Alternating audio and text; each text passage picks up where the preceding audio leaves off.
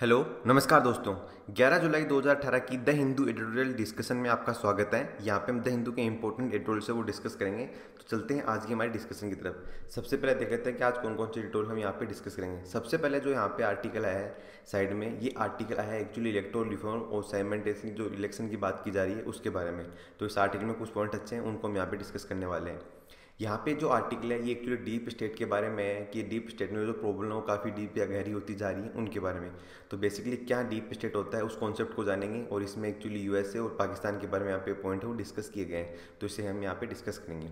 यहाँ पे जो आर्टिकल है पॉलिटिकल मोटिवेटेड है, हमारे लिए कुछ काम का नहीं है। ये जो आर्टिकल है, ये है U N H R C United Nation Human Right Council है, उसको लेके कि अभी यूएस ने उसे एग्जिट कर लिया।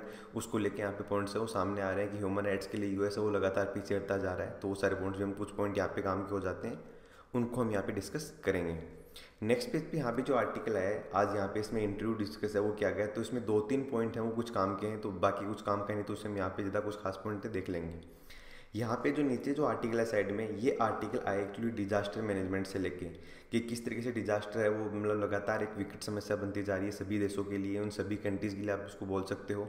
और इसमें डिस्कस किया गया कि किस तरीके से डाटा है वो एक अहम रोल निभा सकता है डिजास्टर से निपटने के लिए तो इसे भी हम यहाँ पर डिस्कस करने वाले हैं। तो चलते हैं हमारी डिस्कशन की तरफ़। सबसे पहले हम देखते हैं डिजास्टर के बारे में देख लेते हैं। तो देखो डिजास्टर होता है, आपको पता है, दो तरीके के होते हैं। एक तो मैन मेड होते हैं और एक होते हैं नेचुरल तो यहाँ पे बात की जा रही है मेनली नेचुरल डिजास्टर की, जैसे भूकंप हुआ, ज्वालामुखी वगैरह फट गया, ये बेसिक चीज़ों की यहाँ पर डिस्कस की गई है। राइटर ये बता रहे हैं कि देखो, जब भी डिजास्टर आता है तो हमेशा काफ़ी बड़ा नुकसान है वो होता है। चाहे किसी कंट्री में या कहीं भी डिजास्टर से नुकसान हमेशा यहाँ पे होता ही है। अब बात ऐसी कि डिजास्टर को हम कंप्लीट तरीके से बैन तो नहीं कर सकते। जैसे मैन मेड जो सॉरी नेचुरल डिजास्टर है, उसको हम ख़त्म तो नहीं कर सकते कि यार, आपसे आगे से ज्वालामुखी नहीं फटेगा, आपसे आगे जो भी आप हो सकते हो, भूकंप वगैरह नहीं। ये चीज़ तो हमारे हाथ में नहीं है। बट हमारे पास एक ऑप्शन है कि हम अगर डिजास्टर के बारे में पहले ही प्रेडिक्ट कर लें या हमें पहले ही पता चल जाए कि अब डिजास्टर आने वाला है और इसके लिए हम पहले से स्टेप उठा लें। जैसे कि ये मान लो कि ये कोई एरिया है, इस एरिया में पता चल गया कि यहाँ पे वोल्केनो फटने वाला है। तो हो सकता है कि यहाँ के लोगों को पहले यहाँ से लोग, यहाँ के लोगों को पहले ही अलग जगह डाइवर्ट कर दिया जाए तो उससे बेनिफिट क्या होगा? कि यहाँ के लोगों को नुकसान झेलना नहीं पड़ेगा, वो पहले ही यहाँ से अपनी जान बचा लेंगे। तो इस तरीके से यहाँ पे राइटर बता रहे हैं कि देखो, अगर डाटा का सही ढंग से यूटिलाइजेशन या यूज़ किया जाता है तो डिजास्टर से हम निपट सकते हैं या डिजास्टर से जो होने वाला खतरा है, उसको हम यहाँ पे कम कर सकते हैं। बेसिकली राइटर का आज के इस आर्टिकल में फोकस ये है कि देखो डाटा है ना, वो एक बहुत बड़ा स्टोरेज आप बोल सकते हो कि डाटा एक बहुत बड़ा सोल्यूशन होता है डिजास्टर से निपटने के लिए। क्योंकि जब भी कोई बोल के वोल्केनो ज्वालामुखी फटता है या फिर आप बोल सकते हो कहीं भी सुनामी आती है, कोई ज्वालामुखी, किसी भी तरह की एक्टिविटीज़ हो रही है डिजास्टर के थ्रू तो उस दौरान अगर हमारे पास डाटा है तो हम पहले से एक तरीके से समझ सकते हैं। हम उसकी सीक्वेंस समझ सकते हैं कि भूकंप ऐसे ऐसे आता है तो उससे इस इस तरीके के नुकसान होते हैं तो इनके लिए हम प्रॉपर ये सोल्यूशन उठा सकते हैं।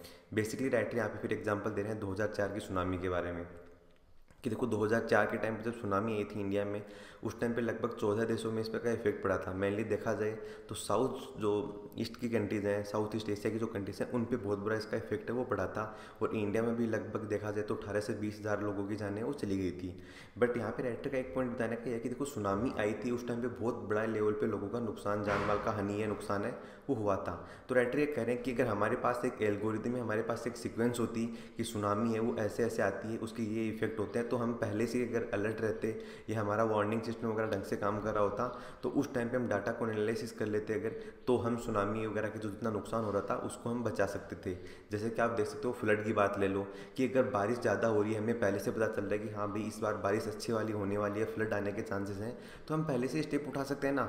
बेसिकली डायरेक्टली यहाँ पे ये पॉइंट इंडिकेट कर रहे हैं कि देखो भैया, जो भी हमारे पास डाटा है ना, कि बारिश वगैरह के बारे में, मौसम बारे में, उस डाटा को हमें यूज़ करना चाहिए। डाटा तो जब हम चाहिएँगे डाटा की जब हमें ज़रूरत होगी, तब हम उसको क्रिएट कर सकते हैं। बट हमें उसको एनालिसिस करना बहुत ज़रूरी है, क्योंकि डाटा को एनालिसिस करके हम समझ सकते हैं। जिस तरीके से हमने पढ़ा था काफ़ी बार, आप पीछे के आर्टिकल में डिस्कस भी किया है, वो डिस्कस किया है बिग डेटा के बारे में। बिग की बिग डेटा का यूज़ करते हुए गवर्नमेंट को काफ़ी सारी स्कीम बना सकती है, लोगों की भावनाएँ वगैरह समझ सकती हैं, उनके मुताबिक लोगों को चीज़ें या स्कीम वगैरह वो ला सकती है। तो वही बात यहाँ पे की जा रही है कि अगर डाटा को एनालिसिस कर लिया जाए या डाटा को अगर एनालाइज किया जाता है तो जो भी नुकसान होते हैं सुनामी वगैरह से आप हो सकते हो डिजास्टर से, उससे हम निपट सकते हैं। इसके बाद में बात की जा रही है यूनाइटेड नेशन डेवलपमेंट प्रोग्राम के भी काफ़ी सारे प्रोग्राम चले जाते हैं डिजास्टर से निपटने के लिए। और यहाँ पे बात की जा रही है national disaster loss and damage database की, कि यूनाइटेड नेशन डेवलपमेंट प्रोग्राम है, वो सभी कंट्रीज़ या स्टेट्स के साथ मिलकर क्या कर रहा है? National disaster loss and damage database तैयार कर रहा है। मतलब एक डाटाबेस हमारे पास होना चाहिए, हमारे पास इन्फॉर्मेशन सारी कलेक्ट सारा इन्फॉर्मेशन हमारे पास होना चाहिए डिजास्टर से रिलेटेड ताकि जब भी फ्यूचर में कोई डिजास्टर आने की संभावना हो तो उस डाटा को हम समझते हुए आगे से जो खतरा हो रहा है, उसको हम कम कर सकते हैं। फिर यहाँ पे राइटर को सजेशन दे रहे हैं कि जैसे एक तो time to time mock drill वगैरह है, वो होनी चाहिए। कई बार हम काफ़ी लापरवाही बरत लेते हैं कि यार, चलो कोई नहीं डिजास्टर आएगा, तब देख लें, कुछ नहीं होने वाला वगैरह। तो हमें एक तो मॉक ड्रिल वगैरह है, वो कंटिन्यू रखनी चाहिए। फिर बात की जा रही है अर्ली वार्निंग सिस्टम की। अर्ली वार्निंग सिस्टम की बात ऐसे है कि जब भी डिजास्टर आता है तो उससे पहले हमें अर्ली वार्निंग अलर्ट सिस्टम वो रखना चाहिए। बेसिक इंफ्रास्ट्रक्चर उस पर फोकस करना चाहिए। मतलब जैसे ये मान लो कि ये कोई रिवर है यहाँ पे। रिवर के इस पार कोई यहाँ पे गाँव है। अगर गवर्नमेंट यहाँ पे पहले से कोई डैम डैम वगैरह बना ले यहाँ पे या फिर कोई ब्रिज वगैरह बना दे इससे तो होगा क्या? अगर इस वाले एरिया में फ्लड आती है तो गवर्नमेंट उस डैम वगैरह की डैम वगैरह के ऊपर से जा सकती है या फिर आप बोल सकते हो कि जो भी ब्रिज वगैरह बना है, उसकी हेल्प से यहाँ के लोगों के पास कनेक्टिविटी पहुँचा सकती है। तो मतलब यहाँ के पास बेसिक इंफ्रास्ट्रक्चर अगर होगी इस एरिया में तो इन लोगों को सुरक्षित बचाया जा सकता है। तो राइटर का ये कहना है कि जो बेसिक इंफ्रास्ट्रक्चर है, वो होना चाहिए, ताकि लोगों को, लोगों तक जो एक्सेस है, वो आप बोल सकते हो कि राहत कार्यक्रम है, उसकी एक्सेस है, वो ईजिली हो जाए। इसके बाद में बात की जा रही है कि जो कंस्ट्रक्शन जो फ्रेमवर्क है, उसके ऊपर में फोकस करना चाहिए। जो भवन वगैरह की डिज़ाइन वगैरह है वो, जैसे कि आप एग्ज़ाम्पल ले सकते हो जापान का। जापान में आपको है कि सबसे ज़्यादा देखा जाए तो भूकंप वगैरह आते रहते हैं तो इसलिए उन्होंने वहाँ पर अपने जो घर वगैरह की डिज़ाइन ही ऐसी तैयार कर रखी है कि भूकंप के दौरान उनको लॉस कम हो और वैसे ही उन्होंने ये डिज़ाइन बेसिक इंफ्रास्ट्रक्चर खड़ा कर रखा है। तो वही बात राइटर यहाँ कह रहे हैं कि देखो, जिस एरिया में जैसा डिजास्टर आता हो, उसका डाटा अगर उनके पास है तो उसी डाटा को यूज़ करते हुए उसी के अकॉर्डिंग वो वहाँ पे कंस्ट्रक्शन तैयार कर सकते हैं। भूकंप आ रहा है तो भूकंप के अकॉर्डिंग बिल्डिंग बना सकते हैं। अगर बाढ़ आ रही है तो उसके अकॉर्डिंग हम ऐसे बिल्डिंग वगैरह बना सकते हैं कि उस पर बाढ़ का इफ़ेक्ट है, वो कम हो। इसके बाद में बात की जा रही है सेंडाई फ्रेमवर्क की। कि देखो सेंडाई फ्रेमवर्क है, उसमें डिजास्टर से निपटने के लिए काफ़ी सारे स्टेप उठाने की बात की है तो हमें उन चीज़ों की तरफ़ फोकस है, वो करना चाहिए ताकि और अच्छा रिज़ल्ट हो वास्ते और डिजास्टर्स के जो भी खतरे होते हैं, उनको हम कम कर सकें। तो ये था कंप्लीट आर्टिकल इसे हमने डिस्कस किया, अब चलते हैं नेक्स्ट आर्टिकल की तरफ़। नेक्स्ट जो आर्टिकल है वो है वन नेशन वन इलेक्शन जिसे आप बोल सकते हो कि साइमन टेसनी इलेक्शन की बात यहाँ पे की जा रही है। तो राइटर ये कह रहे हैं कि देखो भैया गवर्नमेंट है, वो कह रही है कि साइमन टेसनी इलेक्शन है, वो हम यहाँ पे आयोजित करवाएँगे, उसके लिए काफ़ी सारे स्टेप उठाने की बात हो की जा रही है। बट राइटर का एक पॉइंट यहाँ पे आ रहा है कि देखो भैया, आप जब बात आती है इलेक्शन में रिफॉर्म करने की, या बोल सकते हो कि इलेक्ट्रोल रिफॉर्म की बात आ रही है तो उस टाइम पे आप हमेशा साइमन टेसनली जो इलेक्शन है, उनका झंडा लेके क्यों खड़े होते हो? और भी तो इलेक्ट्रोल रिफॉर्म है ना, उनकी तरफ़ फोकस क्यों नहीं करते? केवल साइमन टेंसली जो इलेक्शन है, वो आयोजित करवाने से सोल्यूशन थोड़ी हो जाएगा। तो साइमन टेंसली इलेक्शन का मतलब क्या है? उसका मतलब सीधा सीधा ये है कि लोकसभा के इलेक्शन और राज्यसभा, आप बोल सकते हो कि जो स्टेट की विधानसभा है, उनकी इलेक्शन एक साथ कंडक्ट करवाना। उस बात के यहाँ पे फोकस किया जा रहा है कि सेंट्रल और स्टेट के जो इलेक्शन है, वो एक साथ कंडक्ट करवाए जाएँ। इसके बेनिफिट क्या होंगे, पहले तो वो देख लेते हैं। देखो बेनिफिट की बात तो ये है कि अगर एक ही साथ इलेक्शन हो रहा है तो बार बार वहाँ पर पुलिस फोर्स वगैरह डेवलप नहीं वहाँ पर डिप्लॉय नहीं करनी पड़ेगी तो खर्चा कम होगा। दूसरी बात यह है कि टाइम बचेगा। अगर देखो बार बार इलेक्शन होते हैं तो आपको पता है कि बार मॉडल ऑफ़ कॉन्टेक्ट लगेगा बार बार तो उसके दौरान वहाँ पर जो भी पॉलिसी वगैरह है स्कीम वगैरह, वो नहीं ढंग से चली पाएँगे। तो एक तरीके से क्या है कि जो डेवलपमेंट का काम हो कहीं ना कहीं रुक जाता है। तो उसमें बेनिफिट मिलेगा, क्योंकि पाँच साल में एक ही बार इलेक्शन इलेक्शन होने, इसका मतलब क्या होगा अब एक बार इलेक्शन हो गए तो फिर पाँच साल तक उनको आँख बंद करके काम लगातार कंटिन्यू करना पड़ेगा। इसके बाद में बात की जा रही है कि जो प्रोजेक्ट है, उनको प्रॉपर ढंग से कंप्लीट किया जा सकता है। अदरवाइज़ क्या होता है पहले तो सेंट्रल गवर्नमेंट के इलेक्शन आ गए, फिर स्टेट के इलेक्शन आते हैं तो उस टाइम पे मॉडल कोड ऑफ़ कंडक्ट लग जाता है तो प्रोजेक्ट वगैरह है वो बीच में रुक जाते हैं। या फिर बात यहाँ पे की जाती है कि पॉलिसी पैरालिसिस की। देखो, कई बार क्या होता है कि जब गवर्नमेंट बार बार चेंज होती रहती है ना स्टेट में या सेंट्रल में तो उस दौरान क्या कि मैक्सिमम ध्यान है ना पॉलिटिशियन का, वो अपनी पार्टी की तरफ़ रहता है कि यार कैसे न कैसे हमारी सत्ता है, वो बताई जाए। जब स्टेट के इलेक्शन आते हैं तो वो स्टेट में अपनी सत्ता की तरफ़ लगा जाते हैं, और जब बात आती है सेंट्रल की तो सेंट्रल की तरफ़ वो अपने कदम बढ़ाने लग जाते हैं। तो मतलब वो जो उनका मेन काम है जनता की भलाई करना, उसकी तरफ़ वो फोकस नहीं कर पाते हैं। इसके बाद में बात की जाती है कि देखो जो टैक्स पेयर का पैसा होता है, उसी की हेल्प से आप बोल सकते हो कि जो इलेक्शन है वो कंडक्ट करवाए जाते हैं। तो वो अगर बार बार इलेक्शन नहीं होंगे, एक ही बार, एक साथ इलेक्शन करवा दिए जाएँगे तो ये पैसा भी बच जाएगा। तो ये तो आगे कुछ बेनिफिट और भी खैर काफ़ी सारे बेनिफिट है बट मैंने आपको यहाँ पे दो चार बेनिफिट बता दिए हैं। अब बात करें नेगेटिव पॉइंट की। नेगेटिव पॉइंट की बात ऐसे है कि देखो जो पॉलिटिशियन है, अगर इलेक्शन देखो बार बार होते हैं मान लो कि अभी इलेक्शन दो हज़ार उन्नीस में लोकसभा के इलेक्शन होने वाले हैं, उसके बाद फिर किसी स्टेट असेंबली के इलेक्शन आ जाएँगे तो उसका मतलब क्या हुआ कि पॉलिटिशियन बार बार जनता के पास जाएँगे और जनता को मनाने के लिए उन्हें थोड़े बहुत डेवलपमेंट के काम करने पड़ेंगे। तो इससे होगा क्या? अगर एक ही बार इलेक्शन हो जाएँगे तो फिर पाँच साल के जनता आँख बंद, जो पॉलिटिशियन है, वो आँख बंद करके सो जाएँगे कि यार चलो ठीक है अब तो हमारी सत्ता आ गई, पाँच साल तो हमें कुछ नहीं करना, पाँच साल बाद देखेंगे जो भी होना है तो। तो मतलब कहीं क्या होगा पॉलिटिशियन नहीं तो जो उनकी अकाउंटेबिलिटी है नेताओं की वो कम हो जाएगी। क्योंकि वो पाँच साल में एक ही बार लोगों से मिलेंगे अदरवाइज़ तो वो बार बार इलेक्शन के चक्कर में लोगों से मिलते हैं और उनकी बातें मानने को बाध्य हो जाते हैं। फिर यहाँ पे बात की जा रही है कि देखो, अगर एक साथ इलेक्शन होंगे तो आपको पता है ओबियसली सेंट्रल के जो इशू हैं वो ज़्यादा हावी रहेंगे। लोकल मुद्दों को वैल्यू नहीं दी जाएगी। अब देखो, हो सकता है कि नेशनल नेशनल लेवल के जो मुद्दे हैं वो इंपॉर्टेंट होते हैं नो डाउट बट कई बार होता है कि स्टेट के लोकल मुद्दे भी इंपॉर्टेंट होते हैं। बट अगर ऐसे मामले में नेशनल मुद्दों को वैल्यू ज़्यादा दी जाएगी तो इसका मतलब क्या हुआ? लोकल मुद्दे तो रहेंगे नहीं, उनकी वैल्यू नहीं रहेगी। तो लोकल जो मुद्दों वाली जो पार्टी है, वो अपना बहुमत नहीं सिद्ध कर पाएगी। तो उससे लोकल लेवल पर आप बोल सकते हो स्टेट लेवल पर नुकसान है, वो हो सकता है। तो ये बेसिकली इसका एक नुकसान है, वो बताया जा रहा है। एक इसका नुकसान ये बताया जा रहा है कि देखो, अगर जब भी ये मान लो कि लोकसभा और स्टेट असेंबली के इलेक्शन हो रहे हैं, ये मान लो किसी कारणवश स्टेट असेंबली डिजोल्व हो गई किसी स्टेट की तो उस कंडीशन में क्या होगा? उसका तो कोई ना कोई सोल्यूशन होना चाहिए ना। तो ऐसे काफ़ी सारे क्वेश्चन सामने यहाँ पे आ जाते हैं। तो अभी देखो recently law commission of India ने अपने सुझाव दिए थे कि देखो भैया इंडिया में पहली बार तो हो नहीं रहा, आपको कंडक्ट करवाने वगैरह चाहिए। तो वो फिर आगे पॉलिटिकल पॉइंट है। बीजेपी कह रही है कि हाँ भाई कंडक्ट करवाने और कांग्रेस वगैरह है, वो कह रही है कि नहीं कंडक्ट नहीं करवाने से काफ़ी नुकसान होगा, ये वगैरह वो। तो वो देखो हमारे लिए यहाँ पे आर्टिकल में पॉलिटिकली पॉइंट डिस्कस किए गए बीजेपी कांग्रेस के तो वो तो हमारे लिए एग्ज़ाम में इंपॉर्टेंट है नहीं। बट बेसिक जो चीज़ थी साइमन टेंशनली जो इलेक्शन की, वो हमने यहाँ पे डिस्कस कर ली फिर यहाँ पे राइटर अपने को सजेशन दे रहे हैं। राइटर अपने सजेशन ये दे रहे हैं कि देखो, एक तो जो इलेक्शन है ना, वो दो पार्टों में आप डिवाइड कर सकते हो। कैसे? एक तो देखो दो हज़ार उन्नीस में इलेक्शन होने वाले हैं लोकसभा के, फिर होंगे दो हज़ार चौबीस में। तो राइटर का ये कहना है कि 2019 में जब लोकसभा के इलेक्शन हो रहे हैं ना तो उस टाइम पे हमें ये देखना चाहिए कि वो स्टेट जिनके 2019 से लेके मतलब 2000 जैसे 20 में इलेक्शन आ रहे हो 21 में या 22 में, लगभग यहाँ तक किसी के इलेक्शन आ रहे हो स्टेट असेंबली के, उनके तो करवा दे 2019 के इलेक्शन के साथ ही। तो गवर्नमेंट के साथ एक साथ बर्डन नहीं बढ़ेगा। एक तो उनका पॉइंट ये है। फिर जो बाकी स्टेट बच गए, जिनका इलेक्शन उस टाइम पर नहीं करवा गया तो उनका फिर दो हज़ार चौबीस के इलेक्शन है, उस टाइम पर एक साथ करवा दिए मतलब इन दो अगर फेजों में हम इलेक्शन को बांट के करवाते हैं लोकसभा के साथ साथ स्टेट असेंबली के तो फिर 2024 के बाद कंटिन्यू इश्यू रहेगा नहीं उसके बाद सारे इलेक्शन एक साथ होते रहेंगे तो वहाँ पर समस्या का समाधान अपने आप ही हो जाएगा। तो ये एक तो इनके द्वारा सजेशन दिया जाता है, ये। दूसरी बात ये की जा रही है कि देखो, अगर लोकसभा डिजोल्व करने की बात आती है तो लोकसभा डिजोल्व तभी की जाए जब दूसरी जो अपोजिशन या फिर आप बोल सकते हो कि जो दूसरी पार्टी है, वो ये बहुमत सिद्ध करने के लिए मतलब तैयार हो। ऐसा नहीं हो कि एकदम फालतू की इधर उधर बातों के चक्कर में डिजोल्व करने की बात चल जाए। अगली पार्टी एकदम तैयार हो कि हाँ भाई हमारे पास बहुमत है, उसी कंडीशन में लोकसभा को डिजोल्व है तैयार किया जाए। मतलब जब दूसरा ऑप्शन या दूसरा अल्टरनेटिव तैयार हो, तभी लोकसभा को डिजोल्व है, वो करना चाहिए।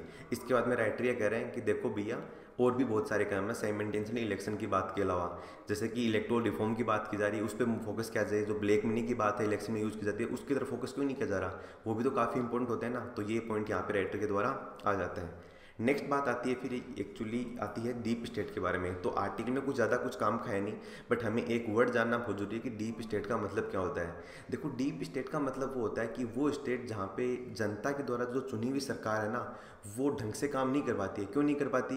क्योंकि जो एजेंसी होती है गवर्नमेंट की जो बॉडी वगैरह होती है ना, वो उस गवर्नमेंट को ढंग से काम नहीं करने देती हैं। जैसे कि आप एग्ज़ाम्पल ले सकते हो पाकिस्तान का और यूएसए का। सबसे अच्छा पाकिस्तान में देख लो, आपको पता है कि जनता के द्वारा सरकार वो चुनी जाती है बट उसके बावजूद भी होता क्या है? वहाँ पे मिलिट्री की ज़्यादा चलती रहती है। तो मतलब हुआ क्या? जनता के द्वारा सरकार तो चुनी गई बट वो काम नहीं कर पा रही ढंग से। क्यों? क्योंकि वहाँ पे और जो एजेंसी वगैरह वही टांग अड़ाती रहती है, काम नहीं करने देती। यही बात की जा रही है यूएसए की, कि ट्रंप साहब काम करने की कोशिश करते हैं कि मैं ये कर लूँगा, मैं रशिया के साथ रिलेशन इंप्रूव करूँगा, मैं वो करूँगा। बट वहाँ की एजेंसी उनको ऐसा काम नहीं करने देती है। तो मतलब एक तरीके से वो डीप स्टेट बन गया उसको बोलते हैं डीप स्टेट का कॉन्सेप्ट कि जनता के द्वारा जो चुनी हुई डेमोक्रेटिक सरकार है वो वहाँ की स्टेट की एजेंसी उसे ढंग से काम नहीं करने देती हैं उस स्टेट को कहते हैं डीप स्टेट तो देखो, अभी आपको पता है कि पाकिस्तान में तो मिलिट्री के नाम से सब कुछ चलता है, लोकतंत्र सिर्फ़ नाम नाम का बचा है। तो वो यहाँ पर दो चीज़ें डिस्कस की गई हैं कि इन स्टेट में क्या होता है पॉलिसी हैं, वो भी ढंग से काम नहीं कर पाती हैं, क्योंकि पॉलिसी बनी नहीं पाती हैं। क्योंकि देखो पॉलिसी बनाने का काम किसका होता है? पॉलिसी तो चलो नेताओं ने बना दी बट इंप्लीमेंट करने का काम होता है ओबियसली एजेंसी वगैरह का। अगर एजेंसी ढंग से काम करेंगी नहीं तो अच्छा रिज़ल्ट कहाँ से मिलेगा? तो वो बात यहाँ पे सामने आ जाती है कि डीप स्टेट है, वो लगातार ये दोनों बढ़ते जा रहे हैं और इनमें प्रॉब्लम और ज़्यादा बढ़ती जा रही है। ये तो आप खूब जानते हो कि अगर कोई कंट्री है, उसमें डेमोक्रेटिक मतलब जनता के द्वारा चुनी हुई सरकार काम नहीं कर रही है, वहाँ पे एक तरीके से हालत ख़राब हो रखे हैं, वहाँ पे मिलिट्री या और कोई एजेंसी वो अपने आप रोल बढ़ा रही है तो उसका मतलब क्या हुआ? उस स्टेट के कोई डेमोक्रेटिक वैल्यू रहेगी नहीं तो वो बात यहाँ पे बताई गई है। नेक्स्ट बात की जा रही है यहाँ पे U N H R C के बारे में United Nation Human Right Council की। कंटेक्स्ट ये है कि यूएसए अभी एग्जिट हो गया। तो पहला बात ये आती है कि भाई यूएसए एग्जिट क्यों हुआ? तो देखो, बात ऐसी है, आपको पता है यूएसए और इसराइल की दोस्ती बहुत गहरी है। और इसका रीज़न ही है कि यूएसए की जो इकोनॉमी है ना, उसमें जूस का बहुत बड़ा, बोल सकते हो कि रोल है। जूज जो कम्युनिटी है, उसका बहुत अहम रोल होता है यूएसए की इकोनॉमी के अंदर। और जूज हैं, वो आपको पता है इसराइल में रहते हैं। तो इसलिए इसराइल है इसराइल की मतलब बोल सकते हो कि एक तरीके से काफ़ी, आप बोल सकते हो कि इसराइल की जो जूज कम्युनिटी है, उसकी वजह से यूएसए की बॉन्डिंग है, वो बहुत ज़्यादा है इसराइल के साथ। ये है बेसिकली वहाँ पर अब बात ऐसी थी, आपको पता है कि अभी रिसेंटली यूएसए ने क्या किया था? यूएसए ने बोला था कि भाई इसराइल की जो कैपिटल है, वो तल अवीव की जगह अब से होगी जेरूसलम तो उस चीज़ को लेकर पूरे वर्ल्ड में विवाद आ गया, क्योंकि जेरूसलम एक विवादित सिटी है। आपको पता है पैलेस्टीन और इसराइल के बीच में तो ये सारा मामला था। इस चीज़ को लेकर फिर क्या वहाँ United Nation Human Right Council ने इसराइल को एक तरीके से आप बोल सकते हो कि क्रिटिसाइज करना इसराइल पे आरोप लगाना शुरू कर दिया और इसी बात को लेकर यूएसए को अच्छा नहीं लगा और यूएसए ने united nation human right council से एग्जिट है, वो ले लिया। इससे पहले यूनेस्को और इसराइल ने दोनों ने, सॉरी यूएसए और इसराइल दोनों ने यूनेस्को से भी अपना हाथ है, वो खींच लिया था। तो वो बात यहाँ पे लगातार आगे राइटर बता रहे हैं। देखो राइटर ये कह रहे हैं कि यूएसए में पॉपुलिज्म या जो ट्रंप साहब हैं, वो अपनी पॉपुलरिटी को बनाए रखने के लिए ऐसे स्टेप उठा रहे हैं। वोट बैंक के चक्कर में उन्होंने ऐसा स्टेप उठाया ताकि जूज कम्युनिटी को या जूज समुदाय को वहाँ पर खुश किया जा सके और वो दिखा सकें कि देखो भाई, हम इसराइल के साथ हैं वगैरह इसमें बट राइटर ये कह रहे हैं कि देखो यूनाइटेड नेशन जनरल असेंबली के तहत ही आती है यू और united nation human right council एक इंपॉर्टेंट बॉडी हो जाती है। क्योंकि आज के टाइम आप देख सकते हो कि ह्यूमन राइट्स के वोलेशन बहुत ज़्यादा हो रहा है। देखा जाए म्यांमार का इशू ले सकते हो बांग्लादेश के अंदर ले सकते हो इशू इसके बाद में आप यमन सीरिया का एग्ज़ाम्पल ले सकते हो अफ़गानिस्तान का इशू ले सकते हो। अफ्रीका में भी जब ब्रिटिश एम्पायर ने काफ़ी दबदबा कर रखा था, उस टाइम पर भी ह्यूमन राइट का वोलेशन लगातार हो रहा था। मतलब आज के टाइम पे ह्यूमन राइट है, उनकी आवाज़ उठाने के लिए वर्ल्ड की एकमात्र एजेंसी दिखा जाए ऑफिशियल यूएन की वो है यूएन वन एच और ये अगर इसी एजेंसी को यूएस सपोर्ट नहीं करेगा तो इसका मतलब क्या होगा? बाकी कंट्रीज़ को भी धीरे धीरे लगेगा कि यार यूएसए अपनी मनमर्जी कर रहा है। तो इसका सबसे बड़ा नुकसान तो एक तो यूएसए को ये होने वाला है कि यूएसए की खुद की वैल्यू डाउन होने वाली है। लोग यूएसए पे, बाकी कंट्रीज़ हैं यूएस पे भरोसा नहीं करेंगी। इसके बारे में बात देखी जा रही है कि देखो, जो ह्यूमैनिटी या मानवता की जो बात यहाँ पे आती है उससे निपटने के लिए 2006 में यू एन को बनाया गया था। और अगर ह्यूमन राइट काउंसिल में यू आप बोल सकते हो कि यूएसए सपोर्ट नहीं कर रहा है तो इसका मतलब यूएस है, वो मानवता के लिए ढंग से काम यहाँ पे नहीं करने वाला है। फिर राइटर ये बता रहे हैं कि देखो तो यूएसए अपनी इमेज तो लगातार खोता ही जा रहा है और यूएसए अपने पॉपुलरिज्म अभी ट्रेड वार का भी हमने देखा था, पीछे आर्टिकल डिस्कस किए हैं कि किस तरीके से यूएसए ट्रेड वॉर में घुसा पड़ा है। यूएसए बाकी कंट्रीज़ को अपनी जो आप ग्लोबल पुलिस मैन का काम कर रहा था, वो भी कहीं ना कहीं पीछे छूट रहा है। ईरान की न्यूक्लियर डील भी उन्होंने कैंसिल कर दी। तो मतलब यूएसए खुद कन्फ्यूज़ हो रखा है कि भाई करना क्या है? हड़प डाट में बस इधर पंख फड़फड़ा रहा है और इसी के चक्कर में उन्होंने ऐसा स्टेप लिया है। फिर लास्ट में राइटर ये बता रहे हैं कि देखो, सीरिया हुआ, म्यांमार, अफ्रीका में इन्होंने काफ़ी अच्छा काम किया यू ने। तो यूएस को ऐसा स्टेप नहीं उठाना चाहिए था, क्योंकि इससे यूएस की वैल्यू भी डाउन होने वाली है और इसराइल की भी। तो ये इस आर्टिकल में कुछ बेसिक पॉइंट थे जो हमने यहाँ पे डिस्कस किए हैं। तो ये तो थी आज की हमारी डिस्कशन फ़िलहाल की डिस्कशन में इतना ही है। Thank you very much for discussion